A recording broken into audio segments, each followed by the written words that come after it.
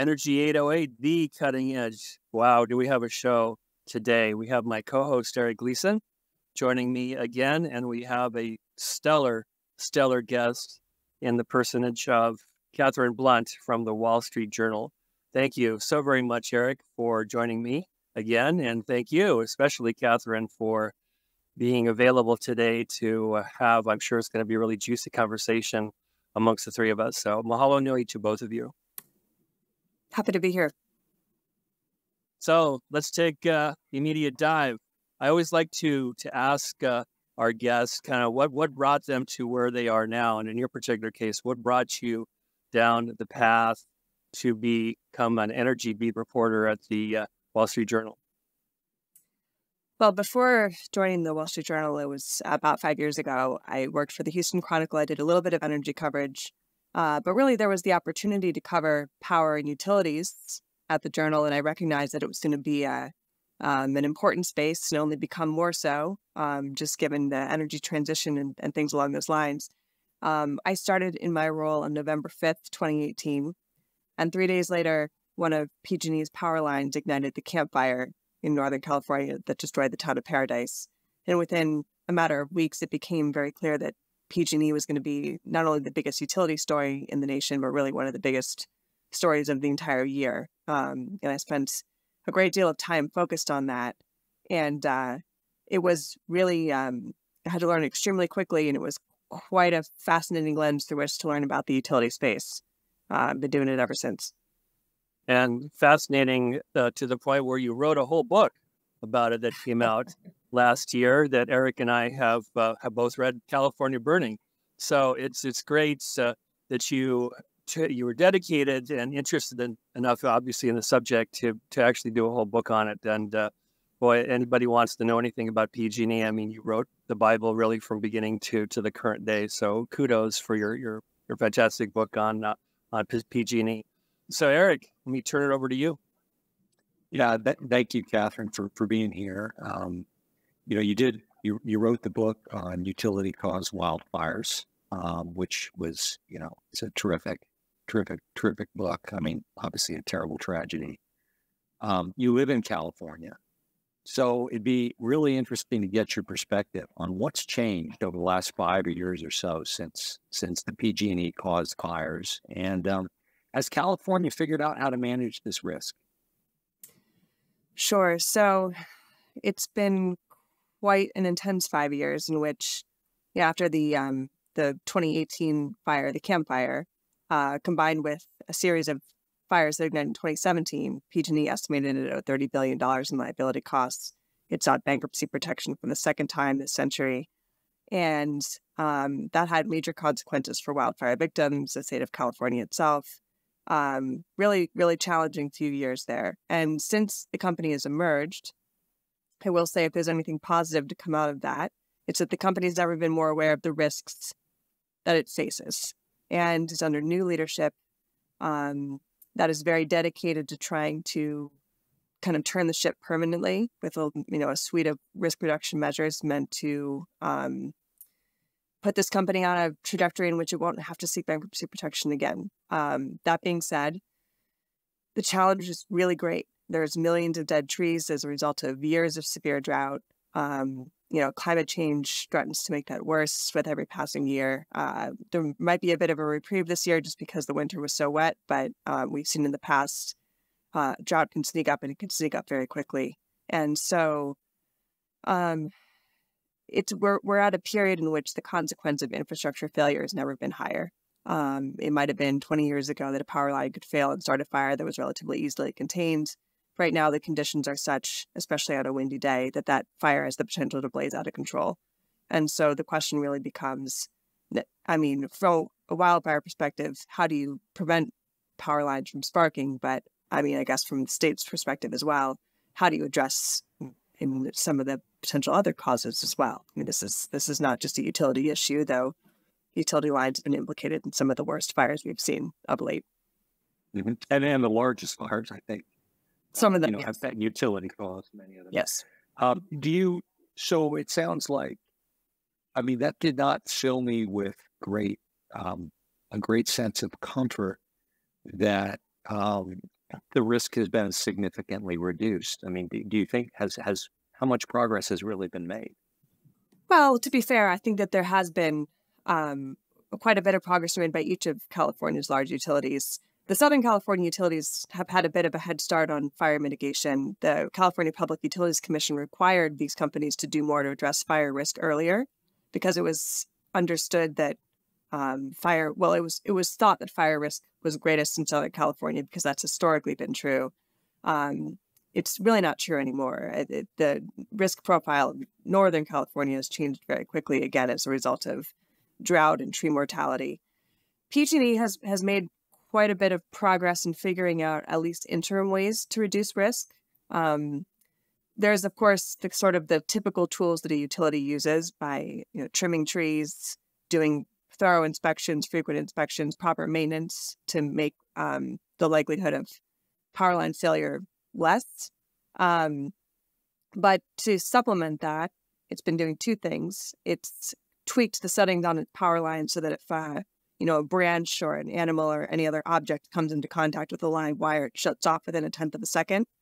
Um, and then the other tool is that it's uh, uh, all the California utilities do this. They proactively shut um, shut off power to the parts of the system in risky conditions so that if, again, there's the prospect of anything coming in contact with those wires, um, the lines are de energized and it significantly reduces fire risk in those particular areas.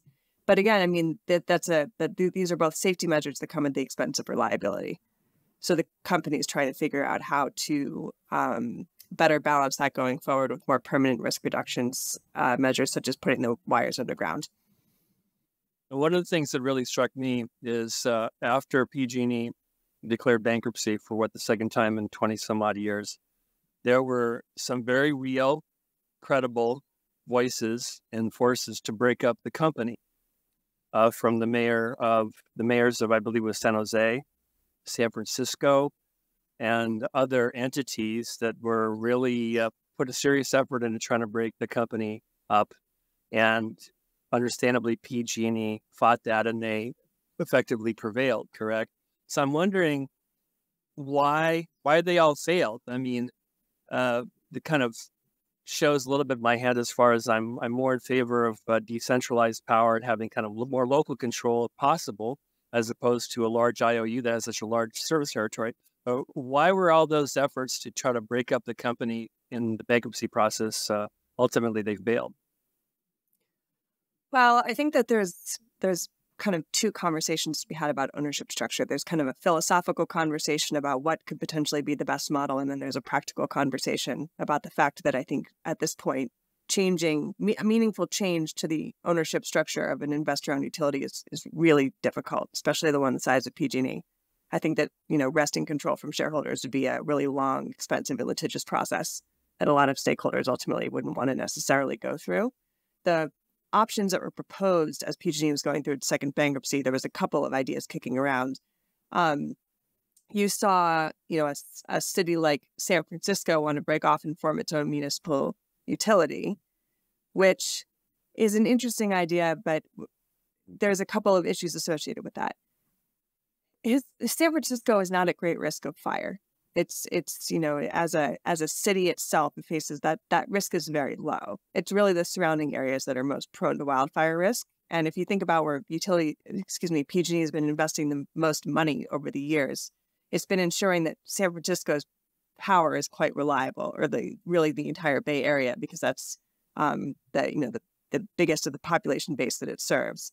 So it would be more of a symbolic split if, if San Francisco were to hive off, and PG&E opposed that because it would set a precedent in which other, um, you know, eh, cities and towns um, could break off, and then you begin to see the revenue base change, right? I mean, the the often utilities kind of exist to serve cities, or at least that's where they reap most of their their revenue, and that allows uh, the company to fund or at least theoretically, you know, fund investments in the rest of the system in rural areas. It just it creates kind of a challenging business model if you see those population centers break off. The second idea was to create a um, customer-owned cooperatives in which PG&E would no longer be owned by shareholders; it would be owned by its customers. It would no longer have a profit motive, um, And that idea, I think, it was certainly interesting. It would it would PG&E by far would be the largest cooperative in the entire country if that were to happen. But you know, it solves some problems such as again, you know, the um, the challenge of of balancing the interests of customers and shareholders that uh, the need to strike that balance is eliminated in the co-op model. But there's still some issues with you know who is responsible for fire damages if power line fires ignite, which is almost inevitable. Um, wasn't a perfect solution either, and uh, of course that would require getting the agreement of PG&E shareholders to sign off on that, and that was uh, really kind of a, um, a distant prospect at the time of the bankruptcy. Right, Eric. You know, one of the one of the um, I, would like to come back to this this whole topic of, of the PG&E bankruptcy, and one of the things that um, you know I wasn't I wasn't totally clear on it, and it's me as a reader, right? Because your, your book was great, but is did did they have to file when they filed it? It, it? it took the market by surprise. I remember the stock price went down. Is that is that something they they needed to do? Were there reasons? Were there advantages in doing it? What, is your take on that? Yeah, uh, there was certainly a number of people, especially within the investor community, who believed that they didn't have to. And they were a solvent debtor. Um, they they uh, thought that, that that move was unnecessary. I do think it allowed them to consolidate a lot of the lawsuits that were pending and, and deal with it in a way that would have been um, swifter and probably more beneficial to the company overall in the long run. And so, I mean, I, I can understand why uh, there were compelling reasons from the corporate standpoint as to why it would engage in that. It was disappointing to so, a, a number of people, and it certainly had significant consequences. Some of which I think the company didn't foresee in terms of the uh, the toll that it would take on its financial health, given the involvement of some of the uh, the financial interests that ultimately shaped the outcome of the case. Um, so, so let's let's explore that a little bit more because that, that was really another dimension that I found fascinating. Is you know uh, my my my basic summary would be it sounded like it was a food fight. I mean, you had you had creditors, you had different sorts of creditors, you had shareholders, you had you know um, victims. Um, how you had you had you had government agencies, you know, that were trying to get compensated for their costs. Is that is that a fair summary that it's kind of a food fight Absolutely. and everybody's everybody's scrambling for their piece of the pie? Not only a food fight, but a really nasty one. Yeah. yeah. I mean, there's a lot of a lot of competing interests here, a lot of moneyed interests. Uh, yeah. Yeah. And then management puts put in the end put forward a plan that I think was approved by the bankruptcy court. Um, you know, I think maybe there were a couple of iterations of that, but you know, in that, do you have? And, and I'm not. Uh, there's obviously a different management team to now in any case, but but I'm curious if you have a view. You know, where where were the victims in all of this? Were you know how how much how, how does management balance doing right by the victims versus doing right by their shareholders versus doing right by their creditors? Because they seem to have some discretion in this certainly has some discretion in the process, but I mean, the so again, some of the financial interests that had held a lot of sway in the way the agreements were ultimately reached. Um, uh, also, all, I mean, also had a, a again. I mean, there was there was a lot of influential voices at the table. Let me put it that way. And so, how it happened was um, between um, a series of fires in 2017 and the 2018 Camp Fire, the company estimates it owes 30 billion, seeks bankruptcy protection, has to reach settlements with three major classes of claimants, three main classes. Um, the first was simple; it was governmental agencies that had incurred fire suppression costs and other things. Um, that that group was the first to reach a settlement for a billion dollars in cash. The second class gets a little bit more complicated. Um, where I it should be said just so listeners understand. In California, if uh, um, if a power line ignites a wildfire, the utility is responsible for the damages that result, regardless of how the line was maintained. It's a strict liability con- construct. So uh, there's no need for proof of negligence in order um, for uh, those whose properties were destroyed to be able to seek compensation. Because of that, insurance companies that paid claims to homeowners had a right to seek reimbursement of those payments uh, from PG&E. So this the second class of claimants was ostensibly insurance companies that had again, you know, um, paid claims. But instead of waiting for a settlement, a lot of these companies had sold their claims on the secondary market to hedge funds, um, some for as little as fifty cents on the dollar. And those hedge funds, one in particular, Baupost Group, had a great deal of influence in the way that settlement was negotiated. That settlement um, came in at $11 billion all cash. So by the time the company uh, was negotiating its settlement with individual fire victims, the company was out $11 billion in cash and didn't have enough left to fully compensate the value of their claims. So how it shook out was this third settlement was um, valued at 13.5 billion. The company agreed to pay it half with cash, half with shares in the company that would be administered through a trust. So the fire victims would hold these shares indirectly through this trust that would slowly liquidate them um, in order to compensate them for their losses. And, you know, um, it was very controversial, obviously. I mean, on principle, a lot of victims don't want to hold shares in PG&E indirectly. Uh, it meant that the overall value of their compensation depended on the company's uh, stock performance post bankruptcy.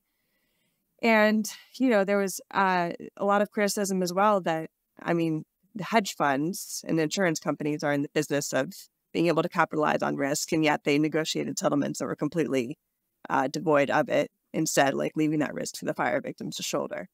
And so, did management have a role in this?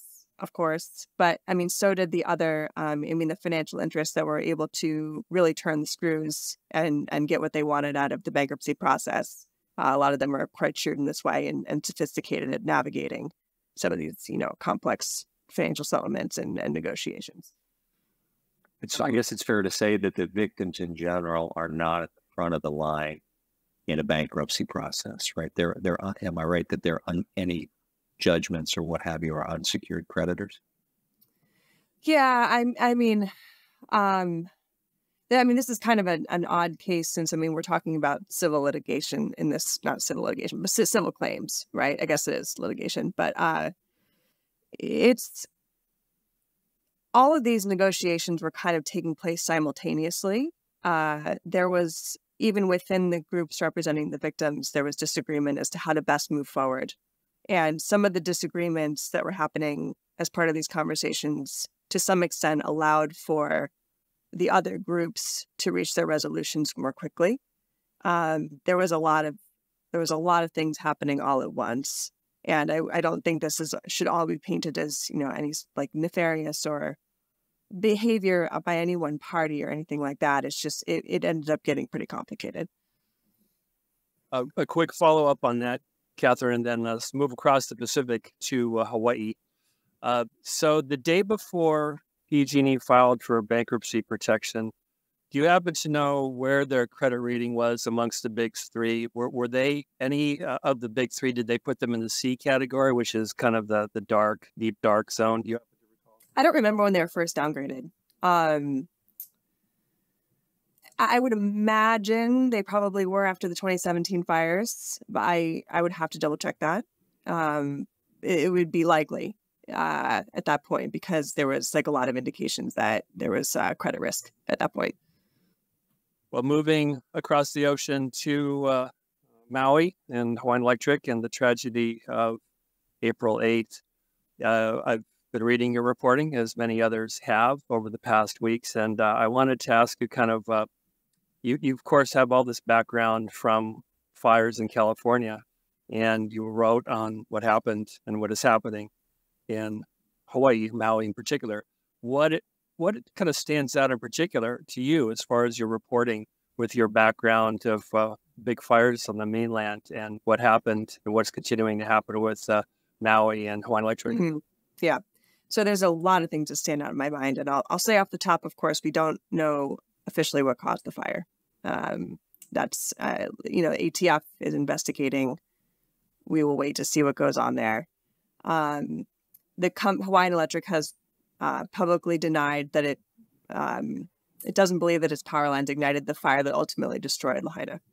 And so, well, so I'll say that off the top.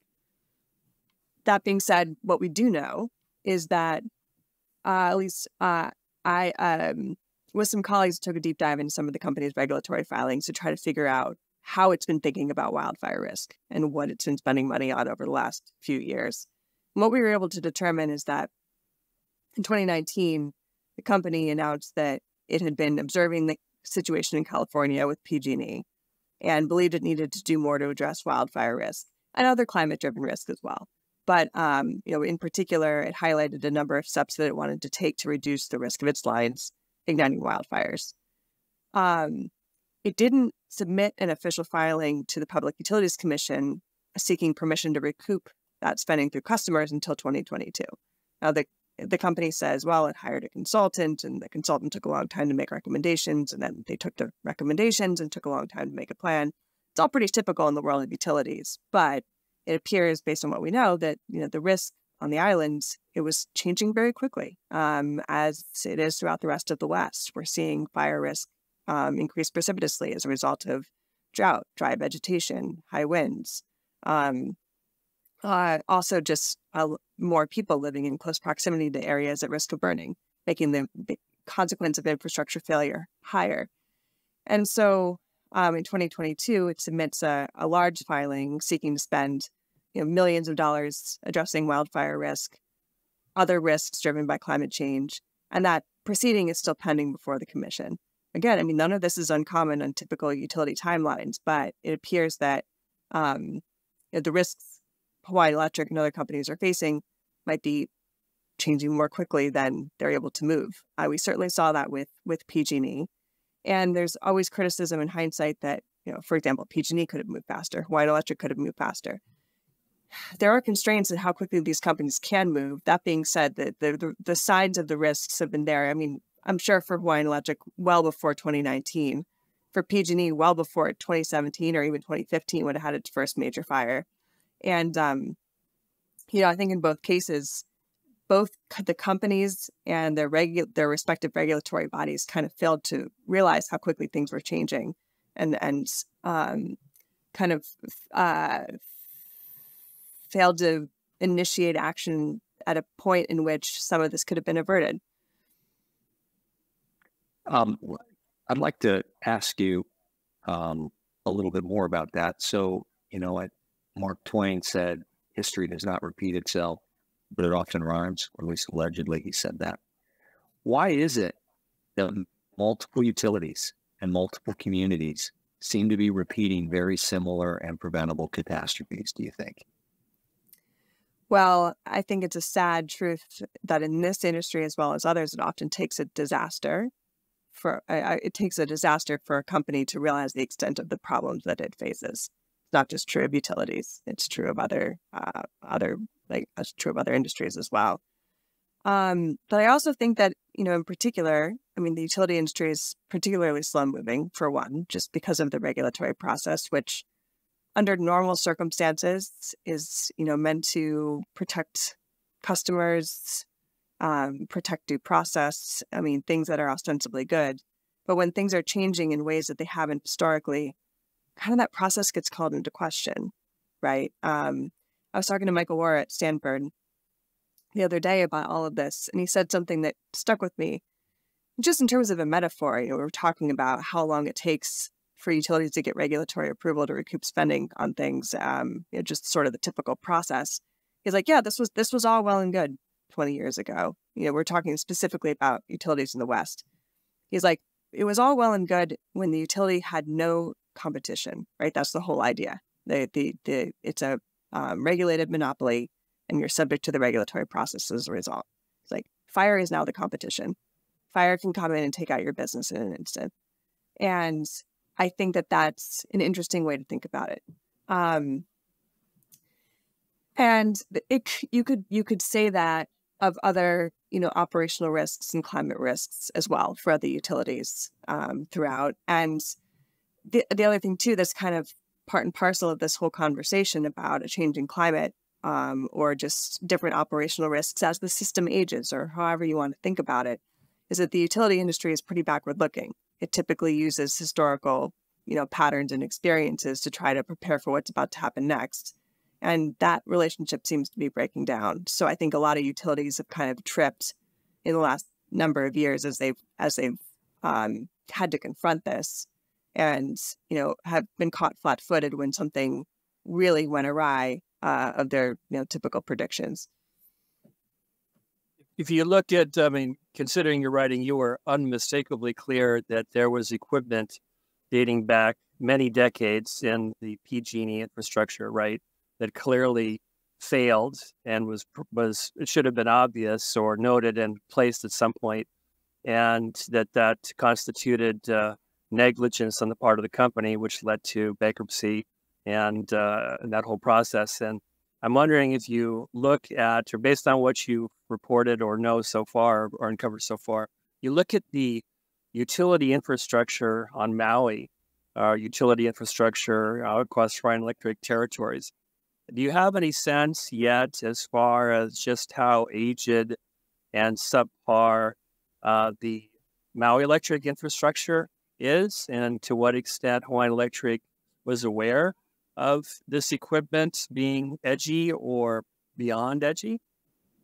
Sure. So, just to, to your point about PG&E, that's really quite an extreme case. Um, the issue with the Camp Fire 2018 occurred when a very small hook on a tall remote transmission tower in the Sierra foothills broke almost exactly in half, dropped a live wire that swung against the metal tower, um, and resulted in you know sparks falling on bone dry brush. Um, that hook that was almost exactly 100 years old. It had been installed around like 1915. It was original infrastructure.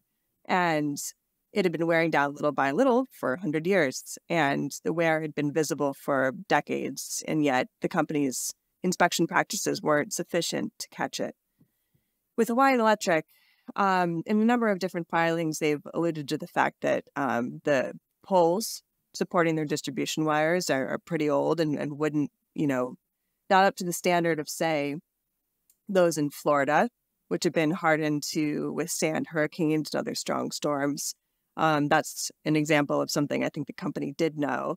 Uh, exactly what the issue was with the power line that that failed. They acknowledged that there was a uh, down power line that started a fire. They just don't think it was the one that destroyed the, the town. We will see. Um, this I don't I don't have any direct knowledge into the specific conditions of like that failure, but certainly the company in, in various filings has acknowledged like yeah, there's stuff that's not up to snuff. A, and there's also more that we could do to um you know to make the system stronger generally, safer as well. And I guess uh, the last time I, I looked, I believe there are 14 lawsuits that have been filed against the company, Hawaiian Electric, including, of course, the, the one from County of Maui. So I mean, assuming that one or more of these cases uh, litigation goes to actual before judge and jury, you know, these these will be questions which will be uh, uh, right in the forefront as far as uh, the, the condition of the equipment. You can trust that that the yeah the trial attorneys will turn over every rock. yes. Eric, Katherine, um, based on everything you know, do you have any advice for the people of Hawaii? Um, you know, one thing that what I hope um, California Burning, the book seems to have had um, a good deal of impact within uh, industry and folks who are close to you know utility companies or worked for them. Uh, but it also seems to resonate quite a bit with with people outside the industry and just appreciating the fact that it's helped them understand a bit more about how this really complex industry works. And you know whether you read the book or not, I think that it's it's a really important time to kind of learn a little bit more about this because the nice thing about the regulatory process is it's you can participate in it. You know, you can you I mean it's not certainly not the most fun nor the most convenient and I wouldn't pretend otherwise, but it does allow for people to weigh in on utility decision making and spending and um, priorities and you know the ability to I mean everything from your role as a consumer and having rooftop solar and, and backup storage if that's what you want, or you know, being able to really oversee the way that the utility is maintaining the centralized system.